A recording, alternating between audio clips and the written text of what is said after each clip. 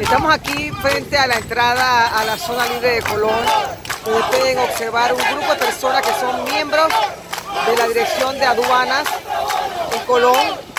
Y vamos a conocer por qué están protestando este piquete aquí eh, frente a la entrada de la zona libre de Colón.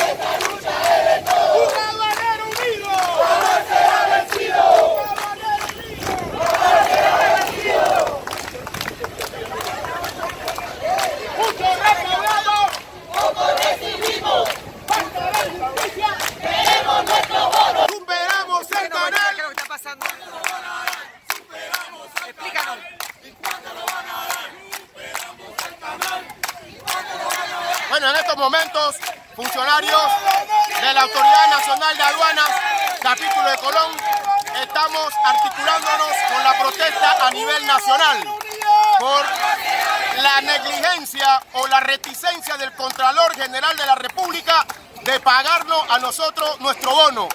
Hay que, recordarle al Contralor, el Contralor solo hace lo que la ley señala.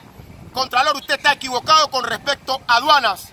La ley nuestra estipula en qué condiciones legales se debe pagar